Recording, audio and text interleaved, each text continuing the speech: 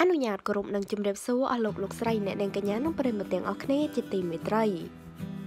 នារីដ៏ស្រស់ស្អាតម្នាក់ដែលរស់នៅ ប្រទេសសិង្ហបុរី បាននិយាយរៀបរាប់នៃការឆ្លងវីរុសកូវីដ -19 ដោយរបៀបណា និងបានប្រាប់ពីវិធីការពារនិងរបៀបពាក់ម៉ាស់ឲ្យបានត្រឹមត្រូវ។ វីរុសផ្លូវដង្ហើមកូវីដ -19 បាននឹងកំពុងឆ្លងទៅកាន់មនុស្សជាច្រើនពាន់នាក់នៅតាមបណ្ដាប្រទេសមួយចំនួន ដែលមានប្រភពចេញពីទីក្រុងវូហាននៃខេត្តហ៊ីប៊ីភាគកណ្ដាលប្រទេសចិនដែលវីរុសថ្មីមួយនេះបាននឹងកំពុងតែបង្កជាក្តីព្រួយបារម្ភយ៉ាងខ្លាំងដល់ពិភពលោកទាំងមូលខណៈដែលវូហានគឺជាទីក្រុងដ៏ធំមួយក្នុងខេត្តហ៊ីប៊ីដែលមានប្រជាជនសរុបជាង10លាននាក់ឯណោះ។កា ត់មកដល់ពេលនេះមេរោគវីរុសកូវីដ -19 ប្រភេទថ្មីបានកើតឡើងនៅលើទឹកដីកម្ពុជាហើយដោយកើតនៅលើជនជាតិចិនម្នាក់ដែលមកកំសាន្តនៅទីក្រុងព្រះសីហនុទន្ទឹមនឹងនេះដែរកាលពីយប់ម្សិលមិញថ្ងៃទី27ខែមករាឆ្នាំ2020នារីដ៏ស្រស់ស្អាតម្នាក់ជាជនជាតិខ្មែរបច្ចុប្បន្នរស់នៅប្រទេសសិង្ហបុរីដែលនាងមានគណនី Facebook ថាស្រីពច័ន្ទ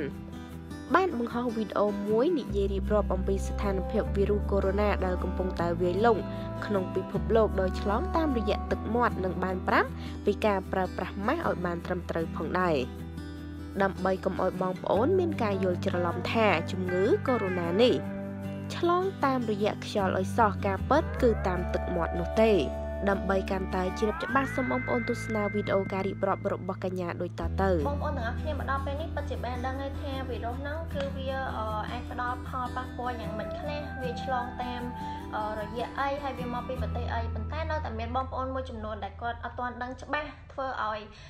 មានជនឆ្លៀតឱកាសមួយចំនួនលួចឡើងថ្លៃម៉ាស់ឬក៏បំផុសបំផុលព័ត៌មានដែលអត់ពិតប្រាកដអញ្ចឹងខ្ញុំរស់នៅប្រទេសសិង្ហបុរីហើយគេបានចុះផ្សាយព័ត៌មានច្បាស់លាស់ដែលគេ confirm គេបណ្ឌិតវិจัยអីហើយអស់ហើយអញ្ចឹងគឺថាអញ្ចឹងមេរោគហ្នឹង គឺវាមិនមែនឆ្លងតាមខ្យល់អាកាសទេគឺវាឆ្លងតាមរយៈទឹកមាត់ដូចនេះហើយនៅនេះគេលើកទឹកចិត្តឲ្យបងប្អូនទាំងអស់គ្នាហ្នឹងពាក់ម៉ាស់សម្រាប់អ្នកដែលអឺកើតមានបញ្ហាក្អកខៀសបោឬក៏ក្តៅខ្លួនអីចឹងដើម្បីការពារកុំឲ្យឆ្លងទៅអ្នកដទៃរីឯអ្នកធម្មតាបើសិនជាចង់ពាក់ម៉ាស់ការពារខ្លួនឯង អាចប្រើជាមួយម៉ាស់នេះគឺគ្រប់គ្រាន់ហើយព្រោះថាម៉ាស់នេះវាមានសម្លេងពីរស្រទាប់ដើម្បីការពារកុំឲ្យទឹកមាត់ហ្នឹងខ្ទាតមកចូលក្នុងមាត់ឬក៏ក្នុងច្រមុះរបស់យើងបានហើយអឺបើសិនជាចំពោះម៉ាស់ N95 គឺគេពាក់នៅក្នុងមន្ទីរពេទ្យគេពាក់នៅក្នុងមន្ទីរពេទ្យដោយសារនៅក្នុងមន្ទីរពេទ្យវាពោពេញទៅដោយមេរោគវាពោពេញទៅដោយវីរុសផ្សេងផ្សេងដែលគេត្រូវការនៅចិត្តអ្នកជំងឺគេត្រូវការមើលថែអ្នកជំងឺអញ្ចឹងបើយើងអ្នកធម្មតាយើងពាក់អានេះគឺគ្រប់គ្រាន់ហើយព្រោះថាមេរោគហ្នឹងមិនមែនឆ្លងតាមខ្យល់អាកាសទេវាឆ្លងតាមទឹកមាត់អញ្ចឹងហើយបានជាគេបញ្ជាក់ថាយើងគួរយើងគួរតែជៀសវាងប៉ះពាល់របស់របរណាដែលនៅតាមទីសាធារណៈព្រោះយើងអត់ដឹងថាមានអ្នកណាគេប៉ះវាខ្លះទេ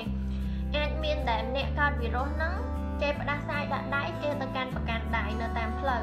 ចឹងនៅពេលដែលយើងកាន់ប្រកាន់ដៃហ្នឹងយើងយកដៃរបស់យើងមកទៅមាត់និងច្រមុះរបស់យើងវានឹងធ្វើឲ្យយើងឆ្លងវីរុសហ្នឹងឯងចឹងគឺគេលើក ទឹកចិត្តឲ្យបងប្អូនទាំងអស់គ្នាលាងដៃឲ្យបានញឹកញាប់ឲ្យបានត្រឹមត្រូវជាមួយនឹងសាប៊ូឬក៏មាន hand sanitizer អាដបតូចតូចជាប់ខ្លួនហ្នឹងណាបងប្អូនទុកដាក់ច្របាច់ដៃលាងឲ្យបានញឹកញាប់ព្រោះយើងអត់ដឹងថាយើងប៉ះពាល់របស់របរអីខ្លះហេចាហើយអឺកុំស្ដាប់តាមព័ត៌មានបំផុសបំផុលដែលថាត្រូវការពាក់ N95 ព្រោះថា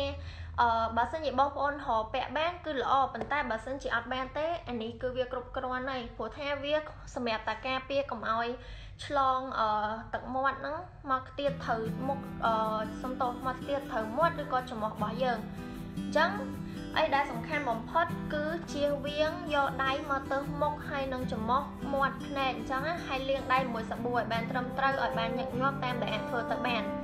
ហើយម្យ៉ាងទៀតកុំទៅកាន់កន្លែងទីសាធារណៈដែលមានមនុស្សច្រើនអញ្ចឹងបើសិនជាអត់ចាំបាច់ទេគឺនៅផ្ទះល្អជាង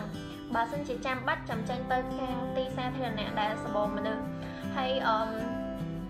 ចាចំពោះបងប្អូនដែលបានស្ដាប់ព័ត៌មានពិតជាដឹងថានៅប្រទេសសិង្ហបុរីហ្នឹងគឺមានហេតុការណ៍ដែលមានអ្នកកើតជំងឺហ្នឹងចំនួន5នាក់អីប៉ុន្តែបងប្អូនត្រូវដឹងថាអ្នកដែលកើតជំងឺហ្នឹងគឺមិនមែនជា